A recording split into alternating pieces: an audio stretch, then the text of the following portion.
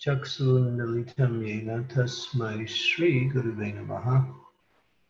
श्रीचैतन्यमनोभीष्टं स्थापितं येन भूतले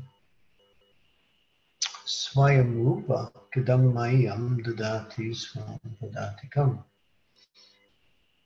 नमः ॐ विष्णुपादाय कृष्णपृष्ठाय भूतले श्रीभक्तिभक्तिवेदान्तस्वामी इति नामिने। Namaste, Saraswati Deve, Gauravani Pracharine, Nirvishesha Sunyavadi, Paschathyade Satarane. Vanchakalpa Dhurubhuscha Kripa Sindhu Vaevacha Titanam Bhavanebhyo Vaishnavebhyo Namaho Namaha Jai Krishna Chaitanya Prabhu Nityananda Sri Advaita Gadadhar Srivasadi Gaura Bhaktivinoda Hare Krishna, Hare Krishna, Krishna Krishna, Hare Hare. Hare Ram, Hare Ram, Ram Ram, Hare Hare. So uh, this is the third and the series of three um, presentations on a 95 slide, 95 slideshow presentation and how, on how and why it is important today more than ever to read and study Srila Prabhupada's books. So we went through uh, different generations. We speak, spoke about some principles of uh, understanding deeper how to approach the books. What is the sequence that comes by way of reading the books, such as reading, understanding, applying, realizing, and developing skills and values. Uh, we also talked about, uh, we also demonstrated some of Srila Prabhupada's quotes uh, to understand deeper in an analytic way what he is saying in a particular statement.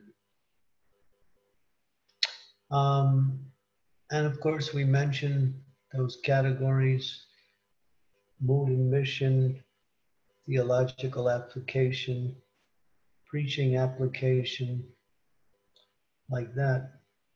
So we're going, this third part is a little bit more technical and a little bit more deeper. So it requires a little bit more attention and thought. So this is where we left off with slide number 68. It says theolo theological application. So we have here Srila Prabhupada speaking with men of the men of the collar, priests, and people who are connected with religion here. So uh, to help or to bridge a gap between different theological uh, understandings of the relationship with our practice and the connection it has with the Supreme Lord. And of course, theolo- theology means to know a little bit about other theological issues outside of ours. So here we have to help create learned Vaishnava theologians, theologians, theologians who are expert in assisting the society through application of Shastric knowledge to a wide range of personal, social, moral, topical and theological issues. So this spans a, a uh, wide range how theology, how our theology, as given by the Gaudiya Vaishnava tradition and has presented, been presented to us by Srila Prabhupada through his books, and through his lectures and other forms of media, uh, can be understood and used in these different areas. Our personal understanding, the social and moral and religious values that our theology is made of, and the practice, the, the practice and how these theological principles are uh, focused on or emphasized in our practice. Okay, the next slide. Here, so this, this comes to you. What are some theological issues? Can you name some that might need clarification? So I throw that out to the audience, the broad assembly of Vaishnavas. What are some of the theological issues that are part of our society?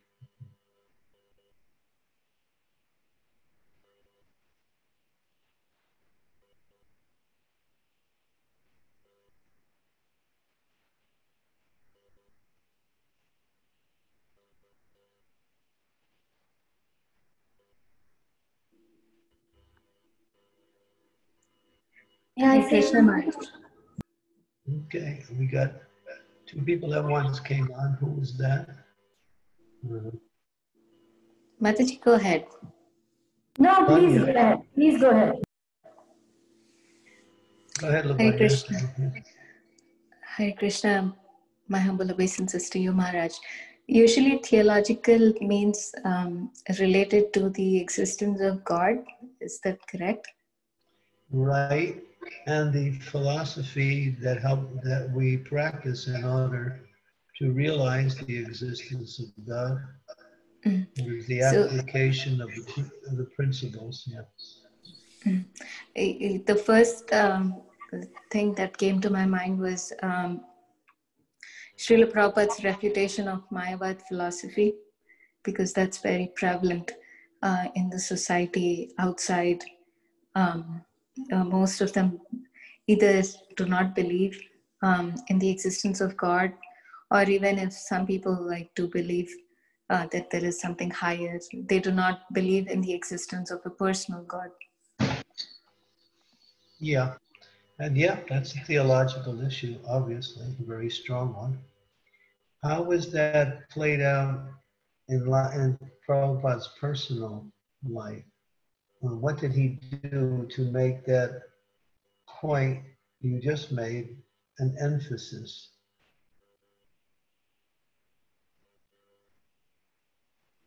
Uh, throughout his purports and also throughout his lectures, we find that um, he, he emphasized um, that one should not think that we are God, we are parts and parcels of God. Um, right. Mm-hmm. Very good. Uh. Continue. Um, so there are many um, yoga studios and yogis and um, even philosophers and um, professors who say that um, the goal of life is to become God. But um, Srila Prabhupada um, and uh, also the great Vaishnavacharyas in our line made it made a very clear distinction between um, a living entity and God. Um, we are parts and parcels of God, but we can never become God. Um, so that's that's what I understood. Yeah, the theological uh, explanation is that although we are of the same quality, we are spirit. God is also spirit it's like a drop of water to the ocean. It's like a gold ring to the gold mine. Hmm. The quality, at least to a certain level of quantity, is similar, is the same, not similar. But the, uh, the, the, the quantity is within complete or perfect or absolute in the source of spirit, which is Krishna or the absolute truth. Yeah, good. Uh, again, I'm going to ask the general body of devotees, what did Prabhupada do to really emphasize this point that we every day recite a particular mantra that really brings this point foremost. I'm giving you more and more with easier understanding. What to recite every day that gives us this clarity of what you mentioned in terms of the personality over the impersonal. Maharaj, I was thinking of Srila Prabhupada's pranam mantra. Nirvishesha Shunyavadi Paschatya Deshatarve. That's it. That's it. Prabhupada made it clear. Yeah. He took on that mantra prior, prior, before taking on that mantra. He took on that mantra in 1970, before we had the first part of the mantra, Namam Vishnu Padaya Krishna Prastaya. Uttale Shri Bhakti Vedanta Swami.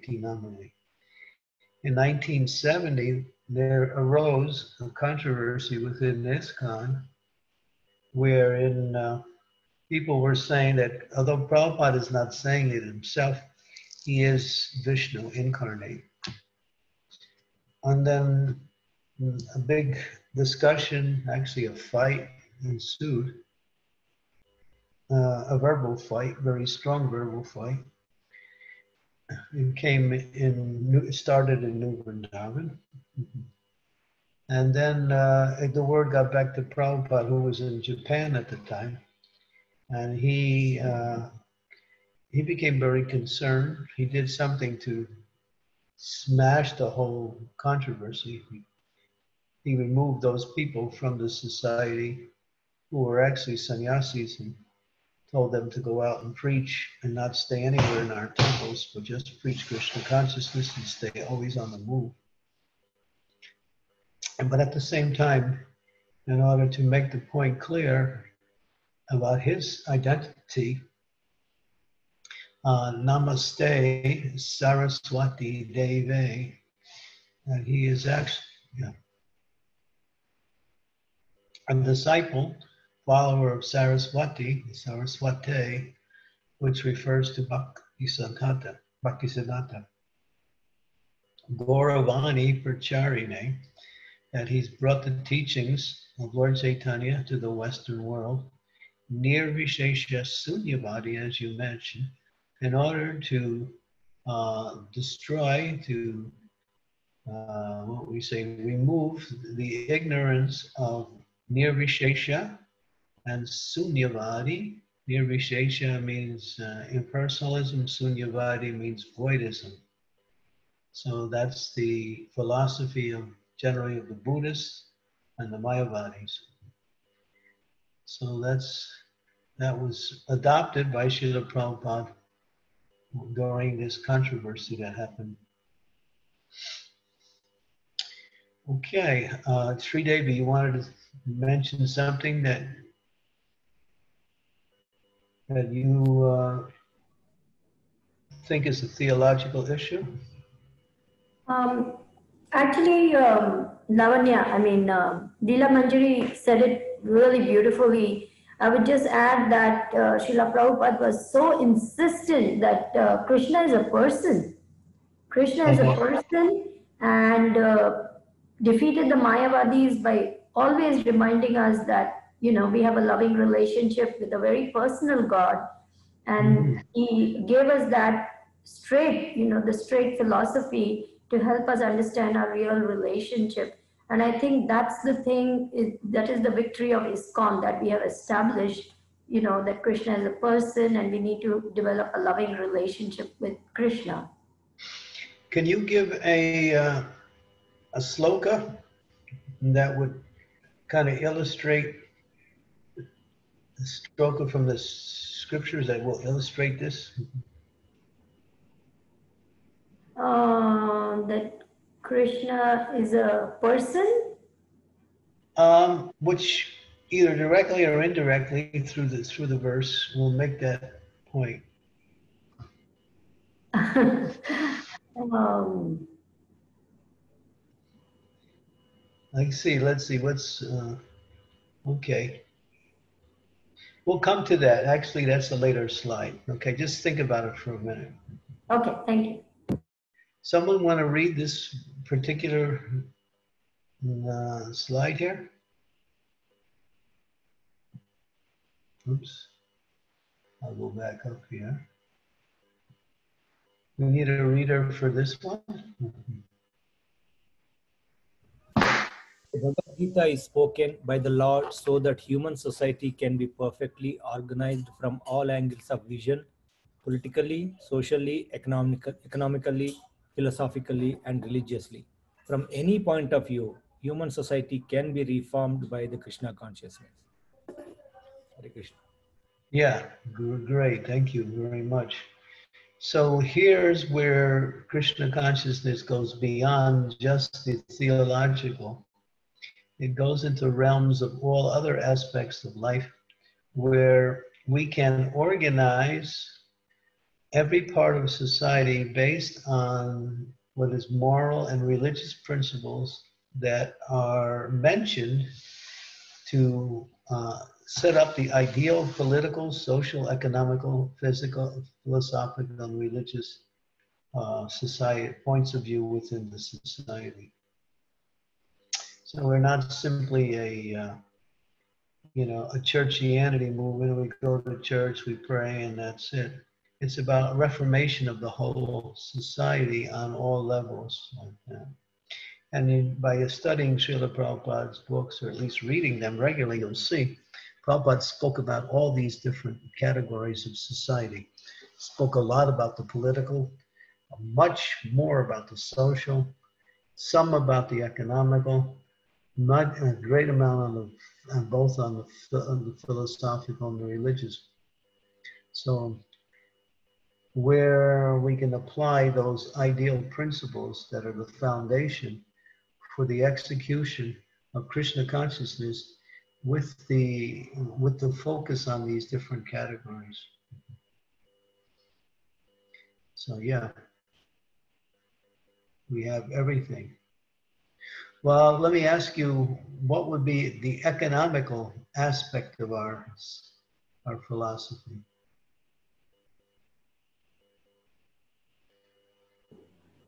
Ishavashyam idam sarvam. Well, that's the individual principle. Yeah, good. But as far as a program, what would be our program? The farms? Yes, farms. Very good. Varnashram or farm communities. Very good economically.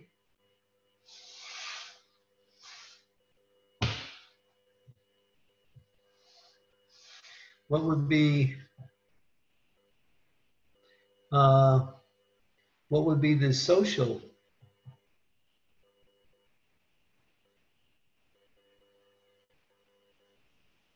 I think I just mentioned it, Varnashram Dharma is the social arrangement of society.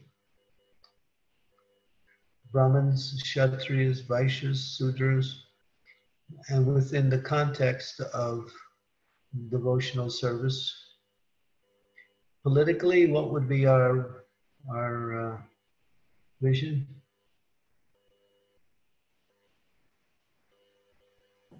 That we have Raj Rishis, godly leaders, saintly leaders, noble leaders who know how to take care of citizens. Yeah, exactly. Or at least Brahmins who are in advisory capacity to give direction to the political rule within the society. Not taking part so much in the politics directly, but becoming the uh, guide for those who are in those positions, the Kshatriyas, in order for them to rule according to, as you say, religious principles.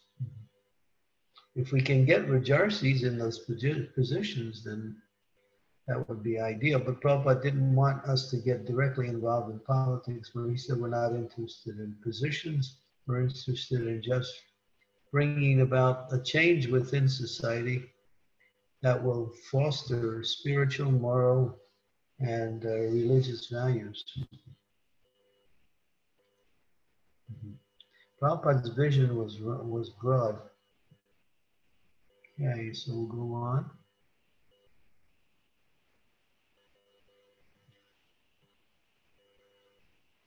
Okay, who knows where this is? If you don't, you really, really need to do some work. who knows where this is? It's an easy one. What temple is this? Come on, some of you are out there, out there, visit this temple. Come on. Is it Bhaktivedanta Manor? Yes, it is Bhaktivedanta Manor. Thank you, Shilpa. if you guys got this one wrong, then I don't know where I- what I would say. Bhaktivedanta Manor. That's Srila Prabhupada in 1977 when he came. Okay, and now we're going into evaluation a little bit. Okay, now what two pictures do you see there?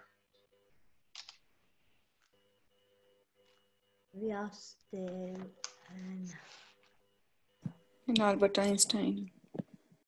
Okay, so you have the sage there. We can say it's Vyasadeva, speaking from scriptures, and then we have um, our illustrious uh, Albert Einstein, who was a great believer in God.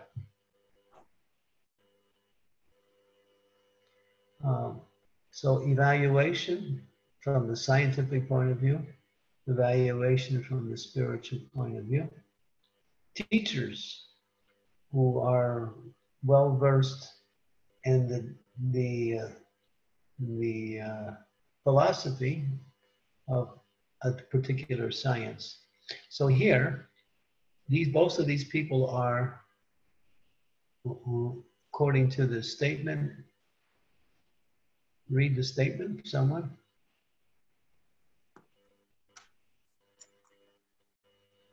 Krishna Mm, help help you Don. I must help you develop analytical, interpretative, and evaluative skills, particularly in respect to the practical application of Shastric knowledge. So part of reading and studying Srila Prabhupada's books means to develop the ability to analyze, to interpret, to evaluate. Evaluate means in relationship to uh, various skills and and values also, because the word evaluate also has the word value with respect to the application of Shastric knowledge. Okay, so next slide. Here's another. What do you see here? First, someone read the uh, the wordings.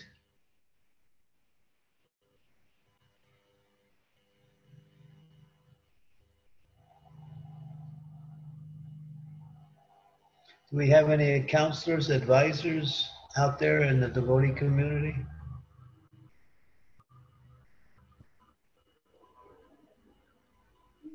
Our mentors, Maharaj? Um, yeah, mentors are counselors, right? Um, shall I read, Maharaj? Please.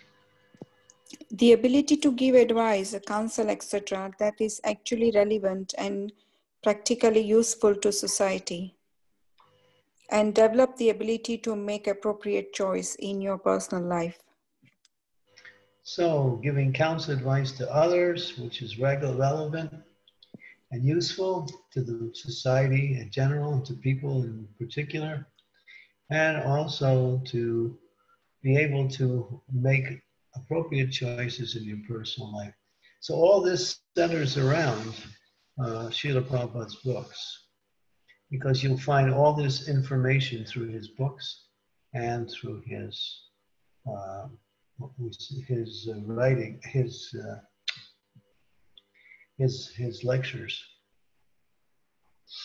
Okay, so here's something we need to evaluate. Here's something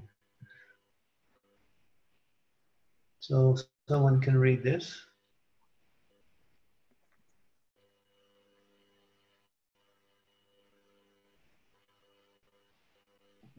Although Krishna advised Arjuna, kill him, Arjuna did not take it. This is consciousness. Even though there is duty, we have to see what will be the effect of that duty. Nothing should be done blindly. This is the nature of a devotee. This the is the is nature of a thought, yeah, the body is thoughtful. And he's seeing that this Arjuna was encouraged to to kill by Krishna, but he was thinking, um, well, he had reasons why not to. So Prabhupada's using this as an example to understand that when we make decisions, we should understand what we are making decisions based on, what are the dynamics of that decision, and um, what will be the results. Of course, sometimes we cannot perfectly see the, the complete results. We should have some understanding based on experience and based on hearing from others. What would be an example in our own life?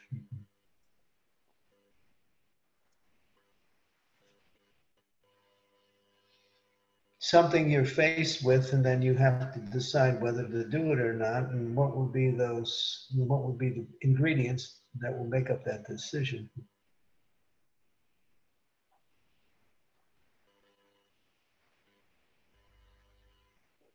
We can even use material examples.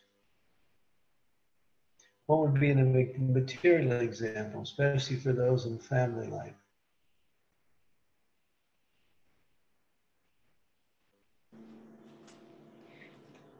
Hi, Krishna. Maharaj, I think um, it's a difficult choice for many devotees whether they should get married or not. Um, also, it's a difficult um, decision to make whom to get married to. Good, good. That's that's not what I was thinking about, but that also is, applies to, to this program. I was thinking about after marriage, should we have children or should we not have children? And if we do, how will we be able to support them? What will be the means of that support? Is th- everything in place in order to be ready to take on the responsibility? Whether I should get married or not, that's also that's a that's a main question for some, especially for the male devotees. Do I want to remain brahmachari, or should I uh, move into the grihastha ashram? Um, so yeah. So therefore, one should, what we say, understand clearly, at least based on Guru, Sadhu, and Shastra before making, especially a decision that has a, a, what we say, a major part of our life, something like getting married, or what ashram should I be in, or um, should I go out and travel and preach, or should I stay in the temple and w- work within the local area? That. In other words, a devotee is thoughtful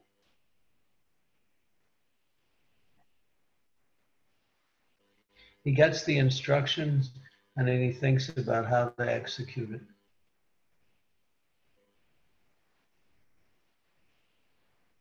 Where mm, in the scriptures, now I'm going to give you a really tough question to see who knows the answer to this one.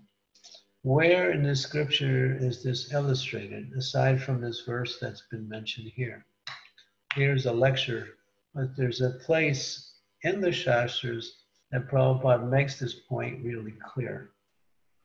Who knows that verse? It's a very key verse. We also talked about it in our previous discussions these last two days.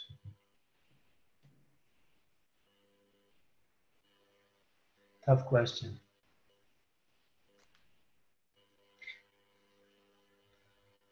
Where does it say nothing should be done blindly? That's the point I'm trying to make.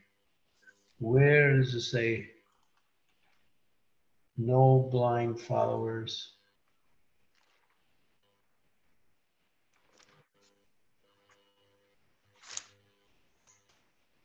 Who has a Bhagavad Gita in front of them? Anybody?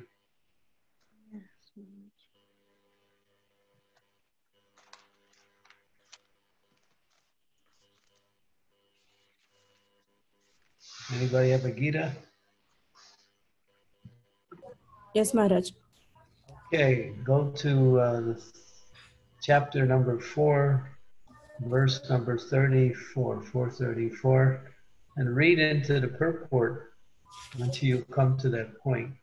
I think it's towards the later part of the purport. So you want us to read from the beginning, Guru Maharaj? No, no. Find that line Okay. that talks about what we're speaking here. Mhm. This was both blind following and. That's it. Yeah, yes, Guru Maharaj, yeah. Yeah.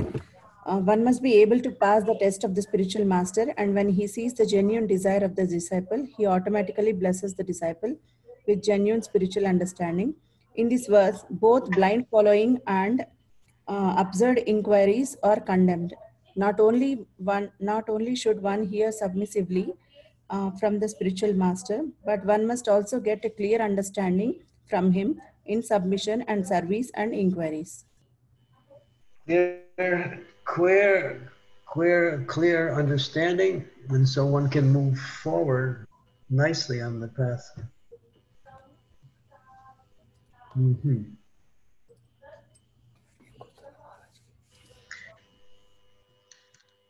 Okay, no blind following, no absurd in- inquiries. That's also. Hare Krishna, Guru Maharaj. Can I ask a question for clarification? Is it an absurd inquiry or is it? It's exactly the it's exactly the absurd inquiry. What's an example of an absurd inquiry? Maybe mine is, Guru Maharaj. What's an example of an absurd inquiry? Do I have to chant my rounds? Oh, I see. No, absurd inquiry would be maybe a little bit better was. Uh,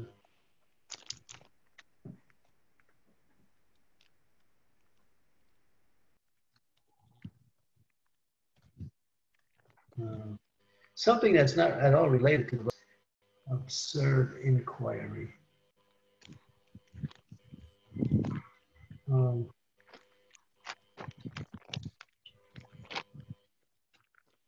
Maharaj, actually, we were listening to Prabhupada recently, and one of the devotees asked, What is the relationship between Balaram and Radha? And Prabhupada immediately corrected him, and uh, he said, You should not ask such questions. I mean, it's a it's a valid question, but at the same time, it's not related to class, and you should not ask these things in public because they will not be able to understand. Yeah, that's, that's an inquiry which is not relevant and not necessary. Mm -hmm.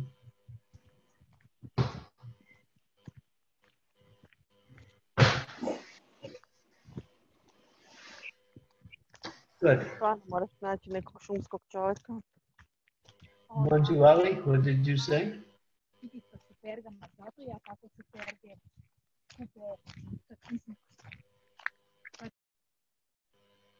Okay, so we'll move on here.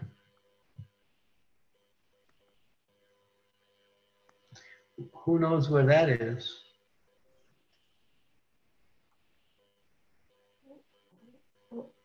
Krishna Maharaj is also the manna. Um, it's London. Oh, Soho. Um, I think it's Bury Place in Berry London. Place. Yes, sorry.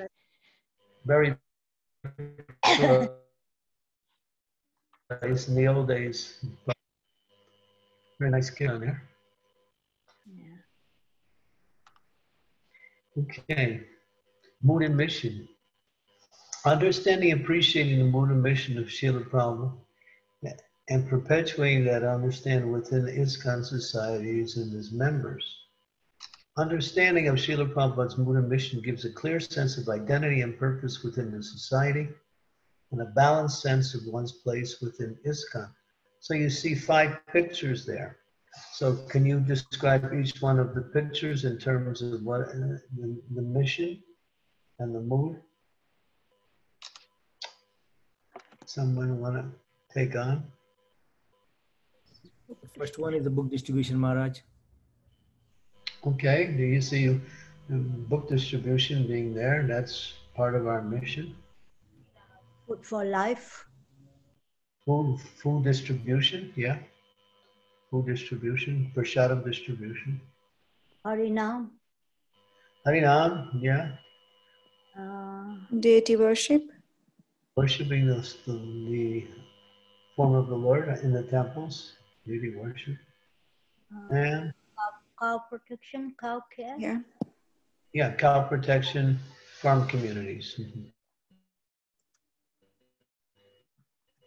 So these are uh, very five major points of our mission. And you can see our mission is to train, to educate, and to uh, what we say, perform charitable works in the form of Harinam and book distribution and food distribution. Okay? So here you go. This is a little bit of a, if you want to tackle this, uh, we welcome you. So someone can read the first one. There's three statements.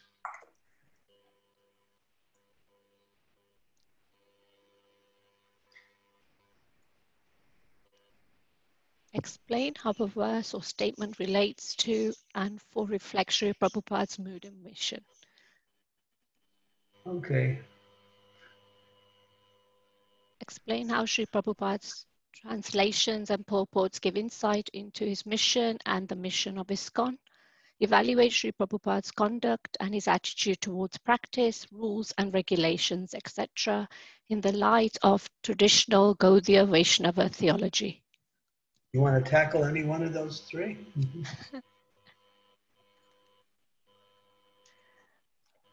I'll try the second one. Um, okay. I think trans. I think Srila Prabhupada's um, translation and purports were given in his scriptures in the books that he gave us, um, and I think that's our Bible really to understand the Okay. mission. We want to give, you want to give a little explanation of, the- of uh, the, in- uh, and give insight into this mission and mood with you, which are in the translations and purports. That means you have to be a little bit more specific.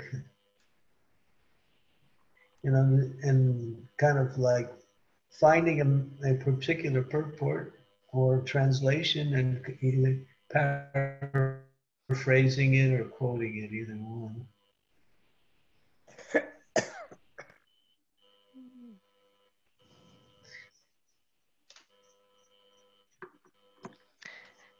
So is that to actually um, take a purport and then you have to um, see what Prabhupada's um, idea was behind that purport? Is that what you're saying, Maharaj? Yeah, it says these translation purports, they give insight into his mission and the mission of ISKCON. What is, our, what is our mission in ISKCON? What is the ultimate mission of ISKCON? Is to spread the holy name? Uh,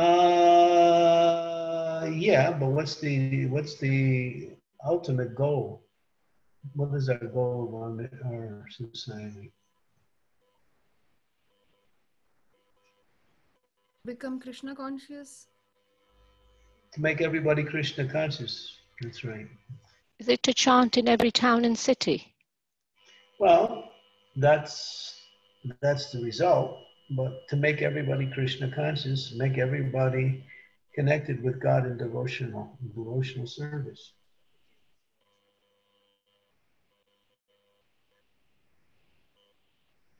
So you find in Prabhupada's purports and translations, he speaks about, you know, the importance of propagating the Hare Krishna mission.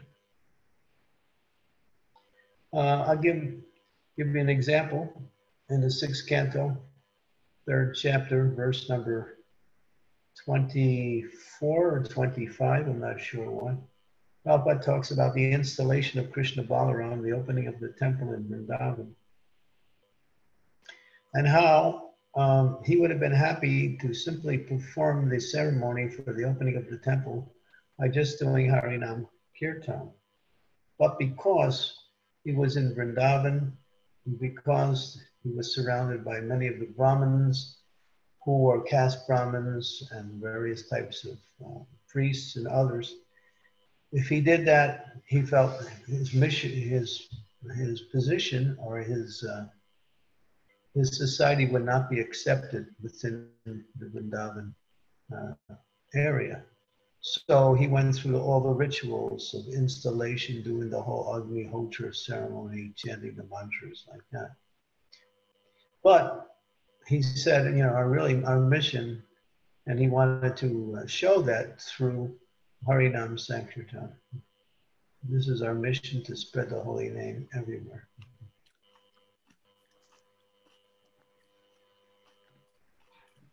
Okay. Uh, how about the third one? Anyone want to tackle the third one?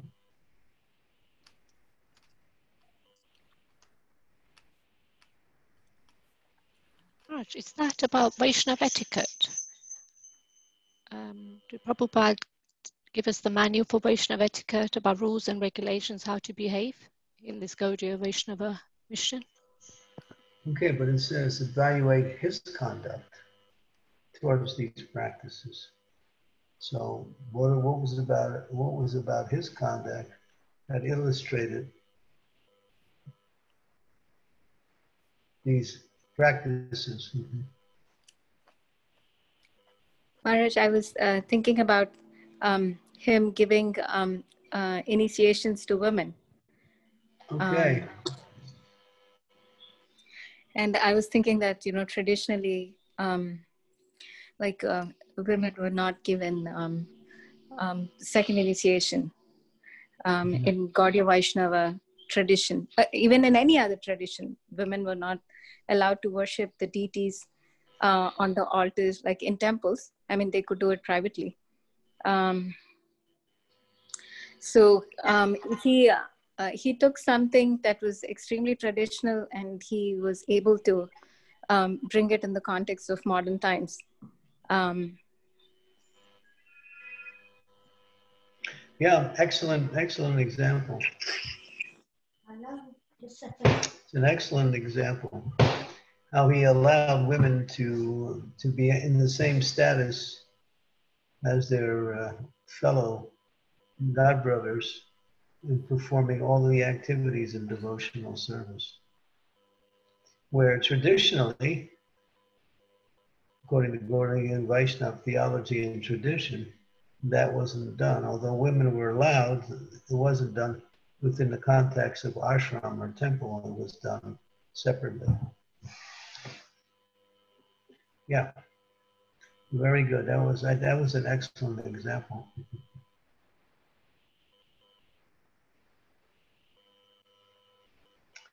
Okay, we'll move on. Thank you for that.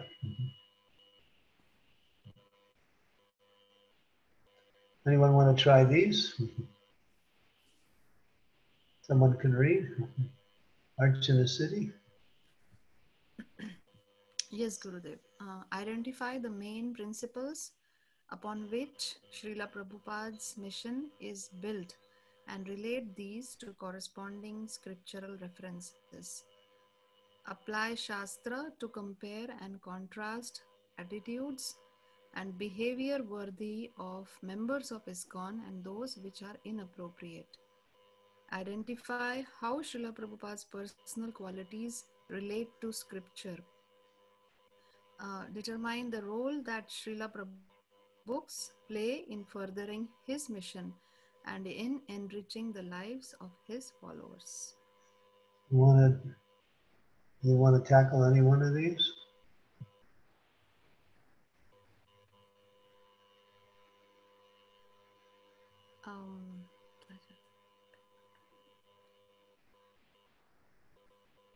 The third one, identify how Srila Prabhupada's personal qualities relate to scriptures. Okay. We see What do you know about his qualities that relate to the scripture?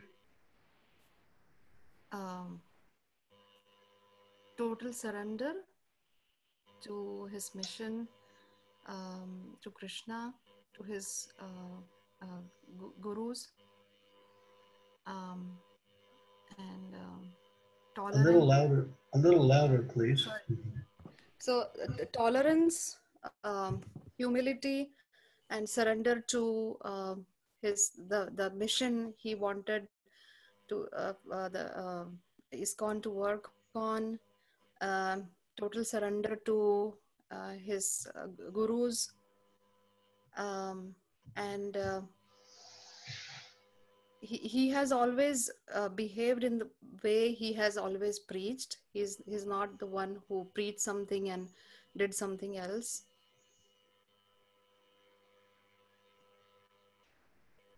Good, yeah. yeah that's all Guru Maharaj. Mm.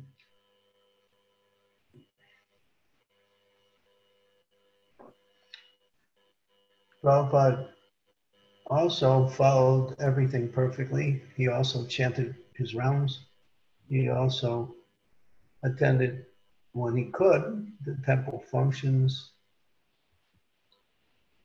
He uh, performed a lot of personal sacrifice in order to spread the movement. In other words, he was very austere.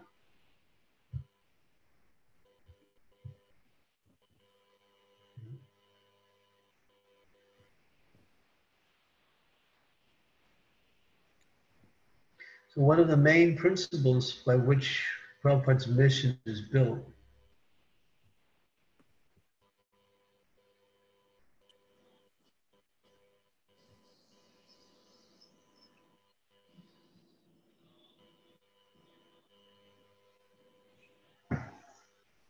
Hare Krishna, Guru Maharaj. Um, I was looking at Srimad Bhagavatam 7.9.5 and in there in the translation, the purports, it says, when Lord Nrsimhadev appeared, all the devotees became fearless. The devotees' hope of becoming fearless is to chant the holy name of Lord Tato Nrsimha. So mm-hmm. I thought this would relate to one of the main fundamental principles. is to become Chant. fearless. Chant the holy name, and through the chanting the holy name, become fearless. And that, chanting the holy names, or Harinam Sankirtan, is one of the main principles he built his mission upon. Becoming fearless is the result of that. Service to the Vaishnavas, preaching to the conditioned souls. These are the things that he built his mission upon. And there's scriptural evidences to correspond with these principles. As Krishna says, one who serves, uh, one who becomes a servant of my devotee actually becomes my servant. Uh, Harinam, Harinam, Harinam Eva Kevalam. There's no other way, no other way, no other way than chanting of the holy names of the Lord. Um, many verses that also correspond with the principle of reaching out, preaching. The last verse in Srimad Bhagavatam glorifies Harinam Sankirtan. Okay, number two is a little tough. Apply Shastra to compare and contrast attitudes and behavior worthy of members of this kind with those which are inappropriate.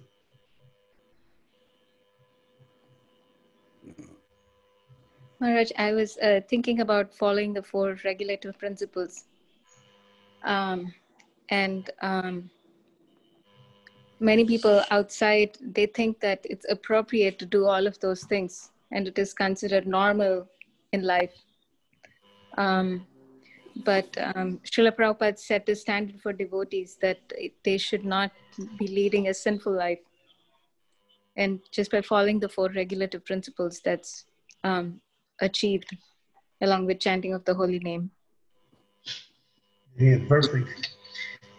And what are some of the things that are inappropriate that co contrast with proper behavior and attitudes?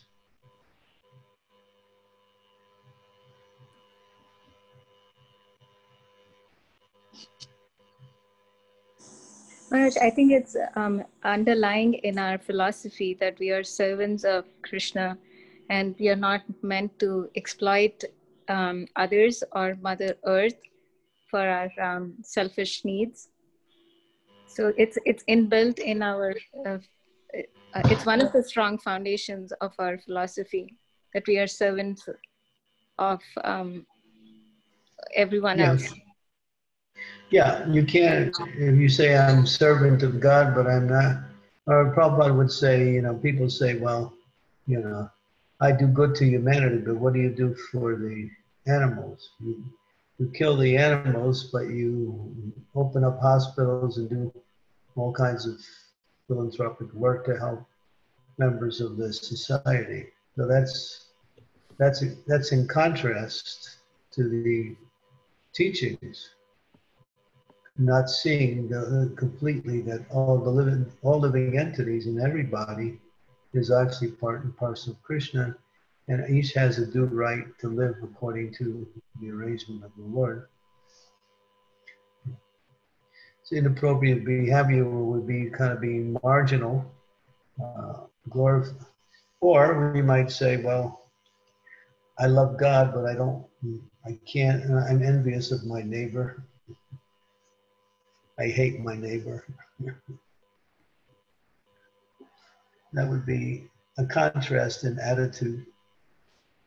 And of course, that would take uh, the form of a certain behavior, a wrong behavior.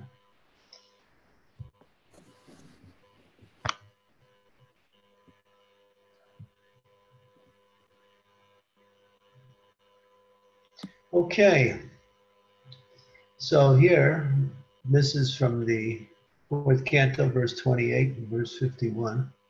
Someone want to read this?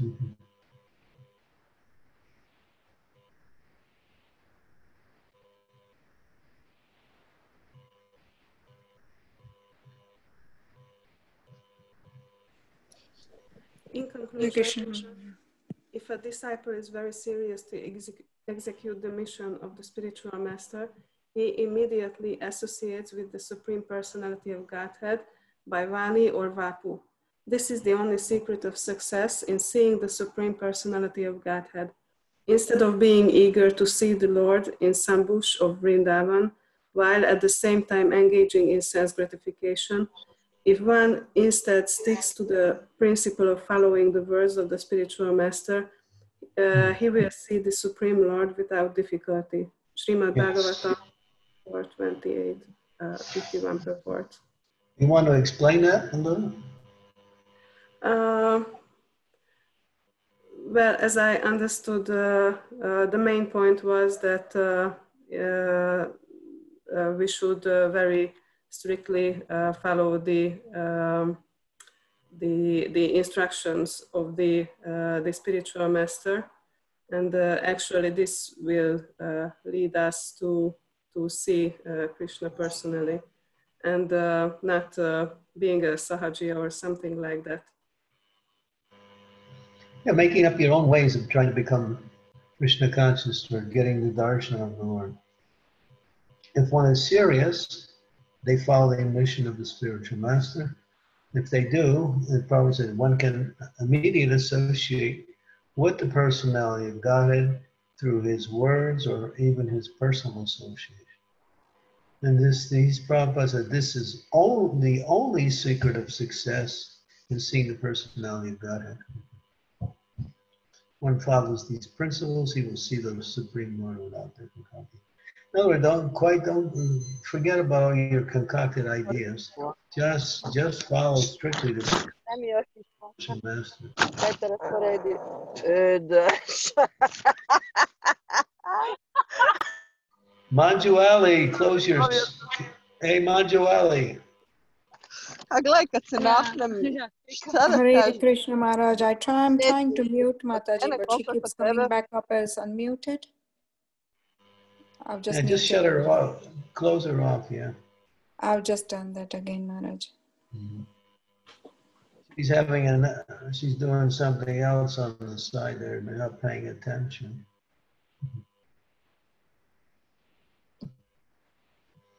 Okay. Someone else want to read this one? Krishna Maharaj. Academic and moral integrity. In studying and preaching the scripture, it is necessary that we have moral and academic integrity in the interpretation, evaluation, and application of Shastric knowledge. Read the caption. Action is integrity, doing what is right even when it is difficult. Okay. So we'll go on to that. Okay, next one here.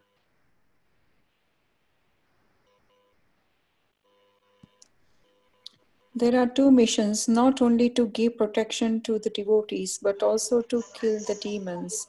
So the devotees of Krishna should be trained up both ways, not only to give protection to the devotees to give them encouragement, but if need be, they should be prepared to kill the demons. That is Vaishnavism.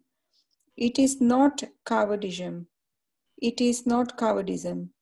When need to be, Bhagavad Gita 1.6 to 7, lecture July 11, 1973, London. Read those four points underneath. Okay, so number one, uh, ways this quote may be misused, two or three. Number two, evaluate the consequences of each misuses. Select the most likely consequence. What is Srila Prabhupada's real print point here? Sorry. Okay, so go ahead and take take all these four points. Um, Ways this quote can be misused. um,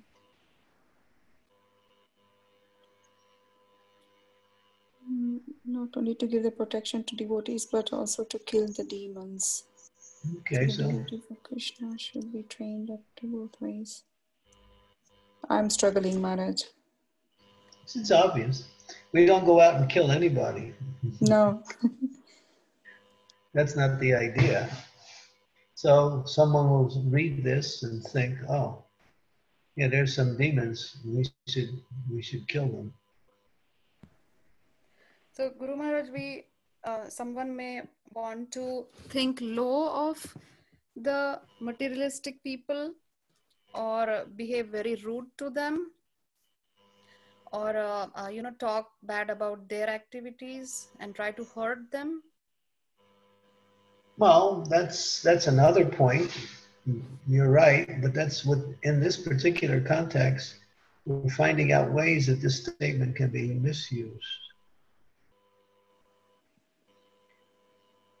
So Maharaj, If we're yeah, also you, you have a point there in the sense that simply to criticize the non-devotees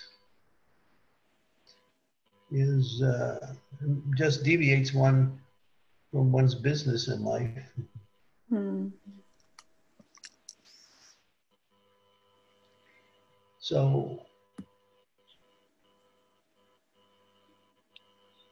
it says there they we should be if need be they should be prepared to kill the demons.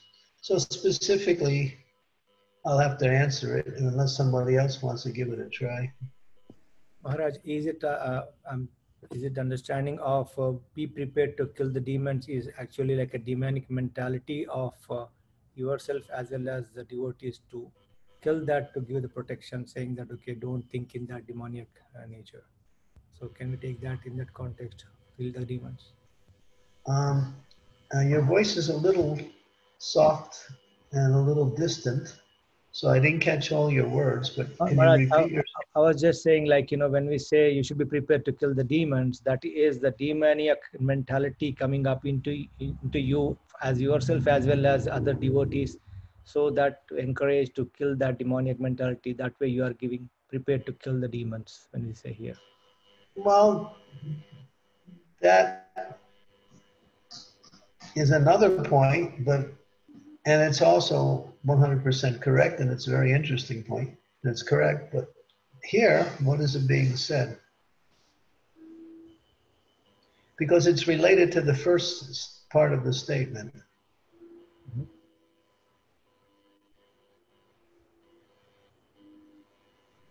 Srila Prabhupada said this in the context of the dacoits attacking the devotees and that we should be prepared to defend ourselves. It's not that Vaishnav just stands and says, okay, do whatever you like with me, or, um, you know, the helpless people of the temple, that we should have trained Kshatriyas who are able to protect and defend the devotees nicely. So my understanding is that we should be prepared to um, be ready to kill the demons if they are coming to attack us or attack the temple like that. Yeah, in other words, we should be trained up in the art of fighting, and that's for a select group of devotees who are in the mood of the Kshatriya ashram, the Kshatriya Varna. And if our temples are attacked, we should be ready to defend and protect the devotees, protect the deities, protect the temples, and at the same time, you know, if we have to fight, then we should be prepared.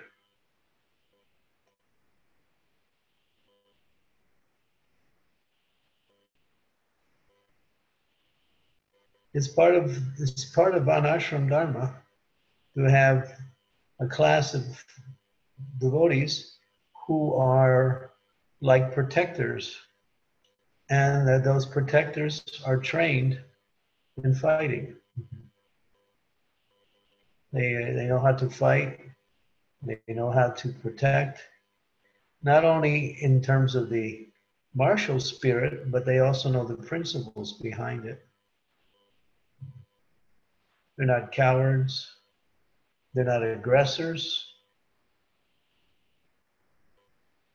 And we have a class of devotees who are, who are very, we have a, a large group of devotees who are good fighters, who are trained fighters but a lot of them are not being used within our society to do this work. Although in some places, like this, like where I am here in Slovenia, uh, the devotees regularly have martial art classes here. And uh, we have some really powerful devotees here in this temple. And nobody will come and attack this temple because the devotees are you know, well equipped to take care of any kind of, you know, attack like that. So how many temples are like that? You know, so just like when we, I think when when we first got attacked in, I can't remember way back when Prabhupada was here. Prabhupada immediately um, just like when we got attacked in New Vrindavan, I was there, that was in 1973 in June. Prabhupada set up a training uh, program to, to train devotees in the art of fighting right after that. And we were doing all kinds of military activities. Not everyone, but a select group of devotees from the community came forward and took the training. And since that happened, and many times after that, you know, when our temples were attacked, and many times devotees were able to defend the temples and other devotees. So the misuse of this statement is that we should we, we are aggressors and we go out and kill demons.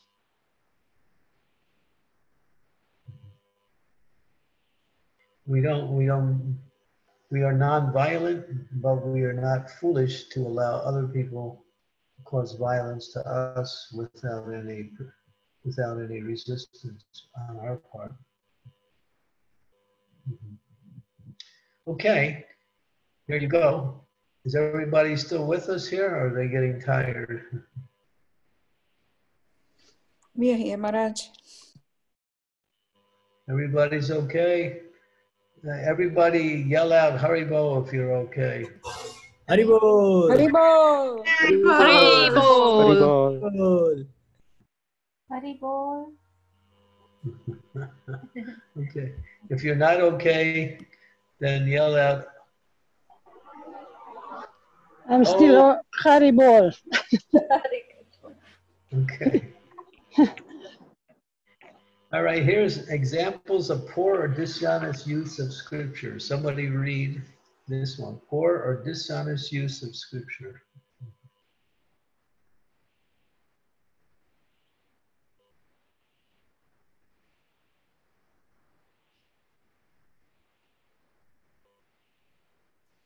Examples of poor or dishonest use of scripture. The tendency to quote only half a shloka uh, when the second half modifies or qualifies the first. The personality of God had replied, The renunciation of work and work in devotion are both good for liberation. But of the two, work in devotional service is better than renunciation of work.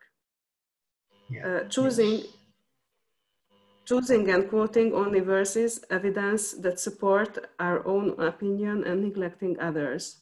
Okay, don't read everything. No, no, no. No, just we want to take the first one again. Tendency to quote half the sloka without quoting the whole sloka, and therefore finding that the end by the half quote we get a certain understanding, and when we quote the whole sloka, we get the complete and correct understanding. What would be another example? taking taking some uh, verse or any quotation within the scriptures. I, I just remember that lately when, when we spoke about uh, this, uh, story of Bali Maharaj, uh, if we only quote the part when uh, Shukracharya is speaking uh, in a materialistic uh, point of view, then uh, we may think that in, in those cases which he, he listed, we can, um, ca- uh, we shouldn't follow our promise. Yeah, yeah, taking that. That's just taking part of the purport like that. Like that. Or let me see, what would be another one? Um,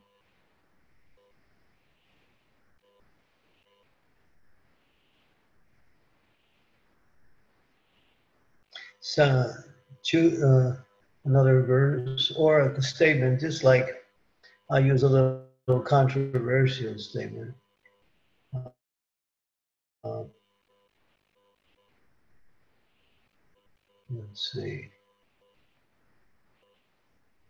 Hmm.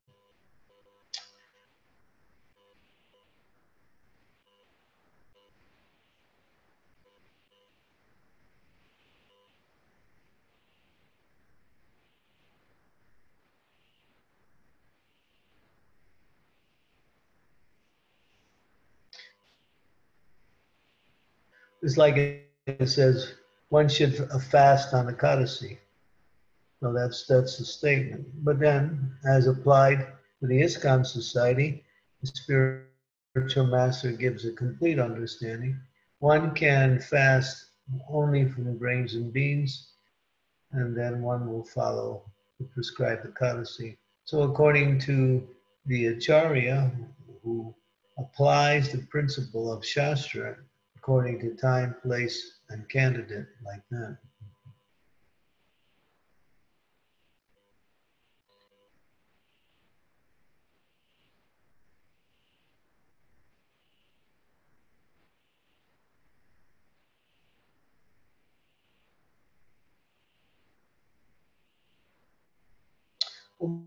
Okay, anybody want to try any of the following ones? Choosing and quoting only verses, evidence that support our own opinion, and neglecting others.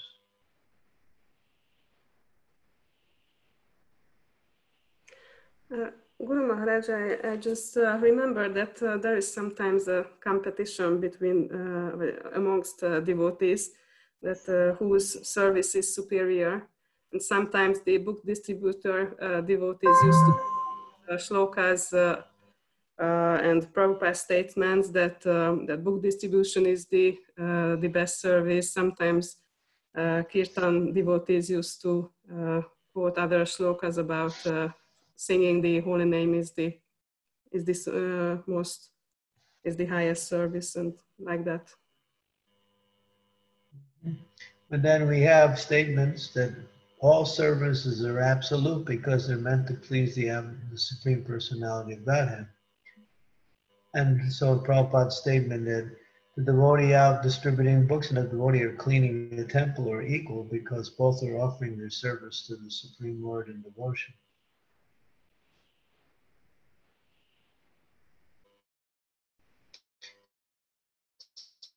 So within the mood and mission, superior or inferior, and within the, the context of the absolute principle of devotional service, we find that everything is equally uh, equally accepted in terms of service.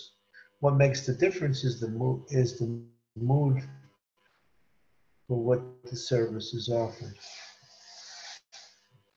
just like fasting on Ekadasi. So if someone is fasting on Ekadasi and they see someone else who is not fasting on Ekadasi, or is not, one is following really strictly the Ekadasi and someone else is eating on Ekadasi, that person who's fasting thinks, well, these people are in Maya, he should be fasting from everything on the Ekadasi. Then he's having a feast with his false ego. So he's not really following the fast because his false ego is having a big feast.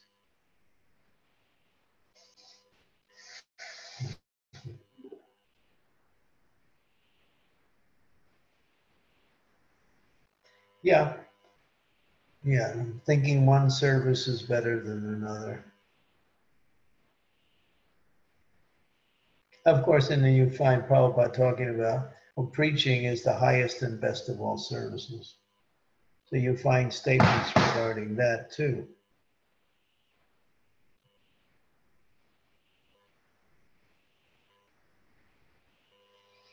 Okay. Anybody want to tackle any of the other ones coming down the list there? Oops, we lost that slide.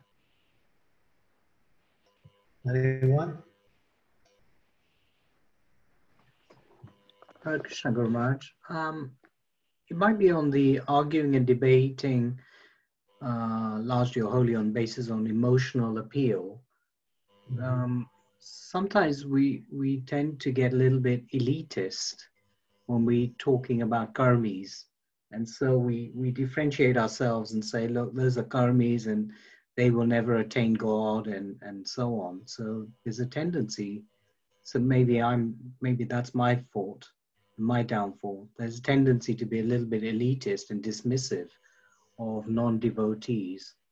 Whereas, you know, the purport I was thinking of, Guru Maharaj, was um, Srimad Bhagavatam 2746, where it says that even sinful people can obtain the love of God through a pure devotee. And that's what we're, um, that's what I was trying to relate to on this particular point, Guru Maharaj. Good, good. Very nice. That was a nice point. Yeah.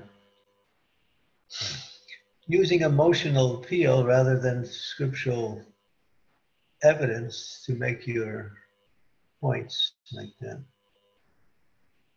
There's different ways of entering into a discussion.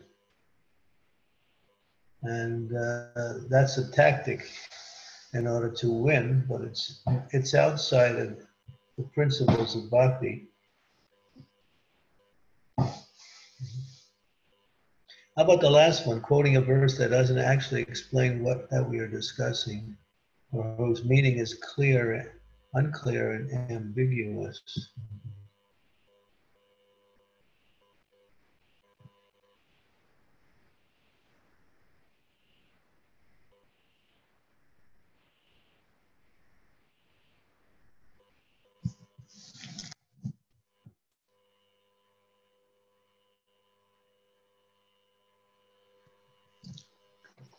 I, don't have a verse, Guru Maharaj, on this one, but it, what about when we talk, when Prabhupada talks about Brahmins and qualifications of a Brahmin, um, would this be the one where, you know, even though you're maybe born as a Brahmin, doesn't necessarily mean that you're qualified to be a Brahmin. So again, um, or am I am I off off the mark here with quoting a No, verse? there are. Yeah, that has been a main point in discussion. The one who's born in a Brahmin family is automatically qualified as a Brahmin.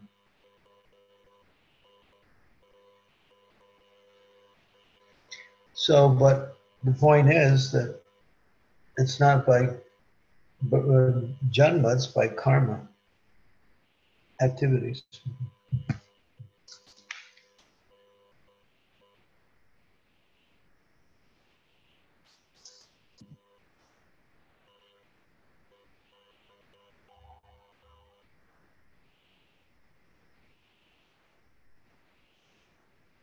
Okay, so we'll move on here. Somebody want to read this one?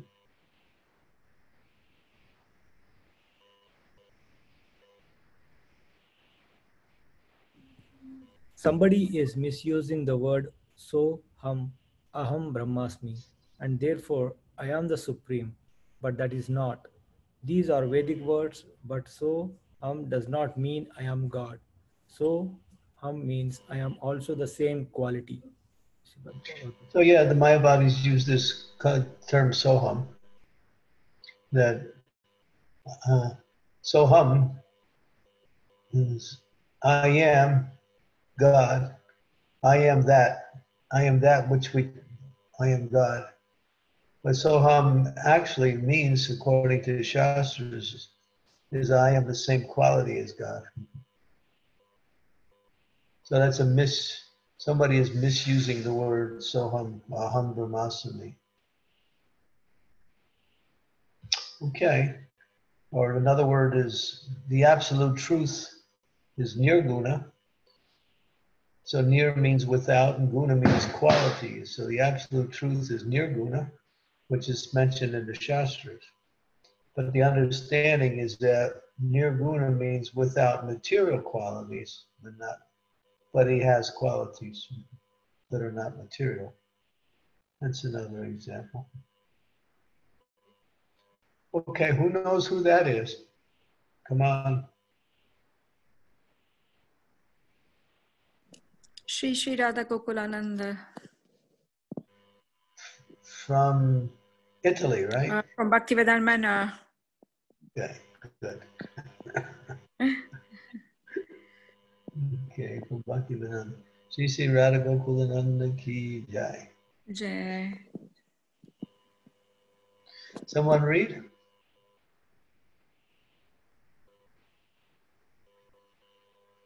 We'll go a little quicker now. Mm-hmm. Responsibility for learning. We must take responsibility for our learning and develop healthy study habits. Developing a taste and appreciation for the study of Srila Prabhupada's books and understanding the relevance of Shastra within one's life will inspire us to study and study well. Keep going. Understanding how we learn and what we must do to facilitate our learning will assist us in developing the study skills necessary to learn. Hmm. Understand how we learn, what will facilitate that learning, and then developing those skills in order to facilitate that. Take responsible for our learning habits, develop healthy, healthy study habits. That means every day, make it a point to read and study these books. Okay. There you go. Do you know anybody know these guys? Mm-hmm.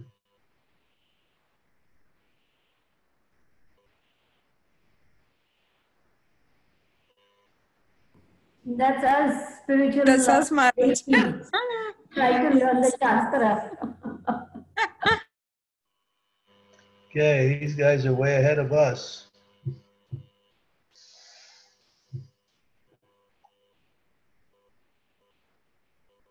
Yeah. Here we go. This quote we read earlier at the beginning, but it's mentioned again.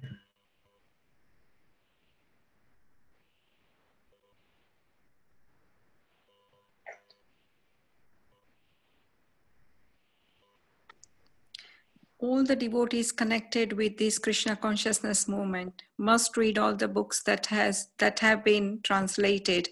Chaitanya charitamrita Shrimad bhagavatam Sri bhagavad gita and others.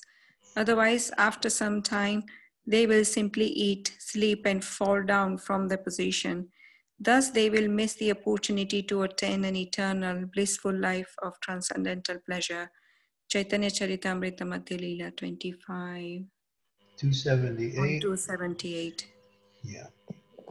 Okay, so yeah, this was quoted earlier in the in the presentation. Uh, so Prabhupada wants to make this. This is actually a verse.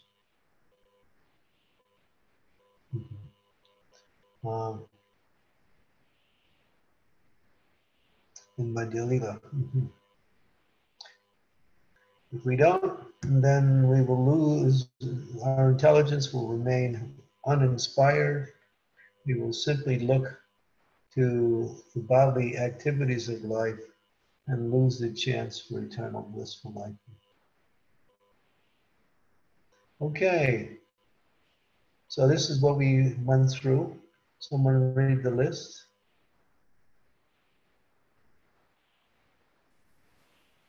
knowledge knowledge and understanding personal application preaching application faith and conviction prabhupada's mood and mission evaluation academic and moral integrity This is a, this this is a summation slide of the different points that were presented throughout this.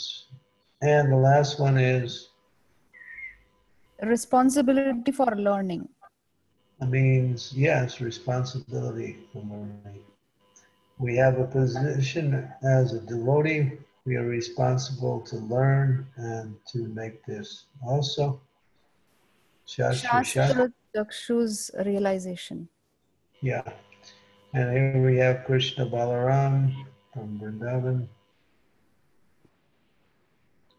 Okay, that pretty much sums it up. There's a couple more slides, which will, because it's late, uh, we will we will uh, forego these slides. Okay, so thank you very much for your participation. I hope this presentation, those of you who were here for the whole three days, will uh, find it inspiring to understand that what we are talking about in terms of reading is more or less summed up in this one verse where we did a summation right here. What is our knowledge of the philosophy? What is our understanding? How can we apply? What is the knowledge that we can apply in our preaching? What faith and conviction we can develop through reading Prabhupada's books? What we can understand as far as Prabhupada's mood and mission? How to evaluate uh, different situations that come up in our practice of Krishna consciousness, keeping uh, the, the philosophy intact and the moral principles intact in our execution of devotional service. These are all features of knowledge that are given to us through Prabhupada's books, his lectures, his conversations, his letters, his personal instructions. Okay. So we're, we're churning the ocean of nectar for inspiring our, and uh, some of the devotees who are out there have decided to have a, a Shastra study Sangam based on our talks, and that is very inspiring. Those who are running that Sangha and uh, make it known to others who want to join, of course. It's better to have small groups and then start maybe start a man's group. The women's have started a group with Nimisha or Lavanya, Sri Devi. Um, the men can also start a little study group amongst themselves. Uh, this would be very inspiring to the spiritual master and to each of the persons that are involved and will take us another step closer in our practice of Krishna consciousness. Uh, Hare Krishna Guru Maharaj, uh, my understanding was Lavanya wanted her Prabhu also to be in that group. So we had decided that everybody, godfathers and god sisters, can join in. But do you want us to have separate ladies and uh, gents group? No, whatever you decide is fine. I was, I didn't know that it was, uh, I wasn't aware of who was involved in the group. So. Okay, thank you. Just trying to clarify. Thank you so much. Yeah, good.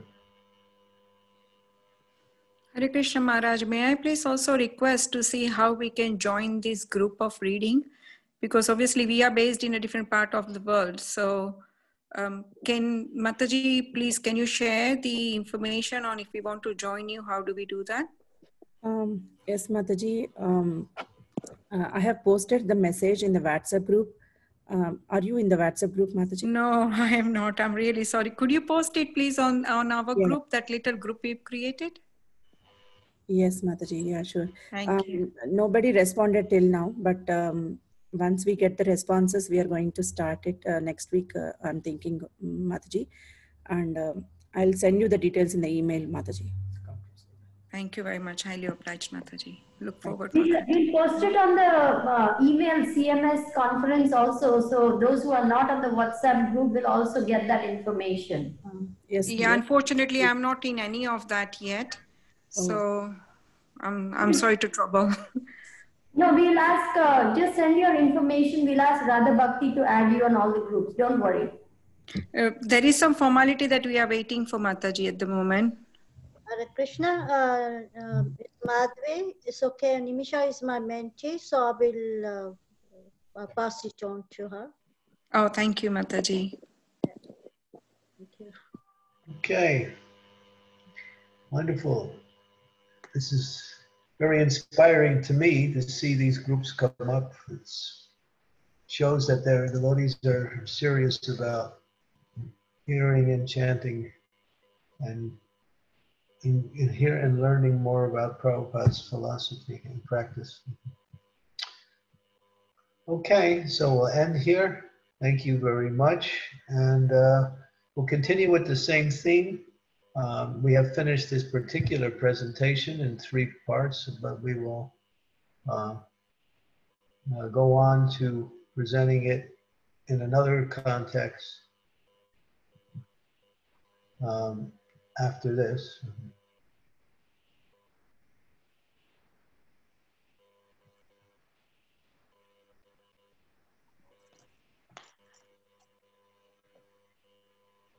Hare Krishna.